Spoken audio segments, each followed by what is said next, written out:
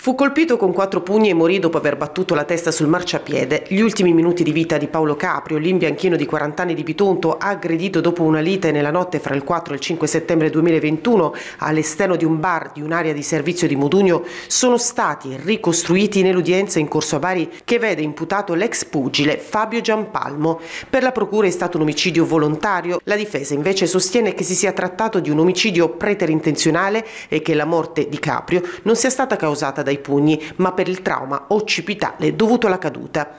I testi, persone vicine all'imputato e che si trovavano con lui nella stazione di servizio, hanno sostanzialmente confermato la ricostruzione della vicenda. Nel filmato si vede l'arrivo nella stazione di servizio dell'imputato e il momento in cui sferra i quattro pugni a Caprio, che cade all'indietro sbattendo la testa sul marciapiede. Nell'atto di convalida del fermo in carcere, il giudice per le indagini preliminari del Tribunale di Bari, Marco Galesi, aveva sottolineato la profonda conoscenza delle tecniche di combattimento di Giampalmo. Si tornerà in aula il prossimo 2 marzo.